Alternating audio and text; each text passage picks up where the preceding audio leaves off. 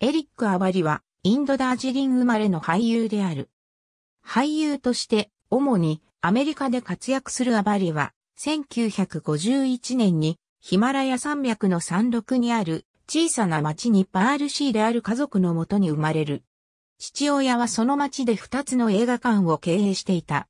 しばらくしてダージリンにある名門セントジョゼフスクールへ入学。その後はヨーロッパとサウスカロライナ州にある大学で学ぶ。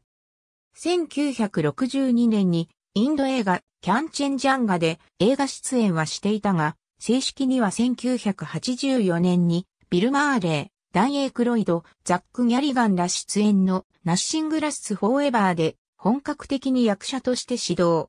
その後、数多くの映画、テレビに出演しており、その数は100本を超える。映画よりかはテレビドラマへの出演の方が多いが、様々な話題作にも出演しており、ティム・バートン監督のアドベンチャー巨編、プラネット・オブ・ザ・エイプス・サルの惑星や、ブレンダン・フレーザー主演の超大作、ハムナプトラ、失われた砂漠の戸などがある。1994年公開の映画、スターゲートでは、異性アビドースの長老カザフを演じ、後に MGM 制作のテレビシリーズ、スターゲート SG-1 でも同じくカザフを演じている。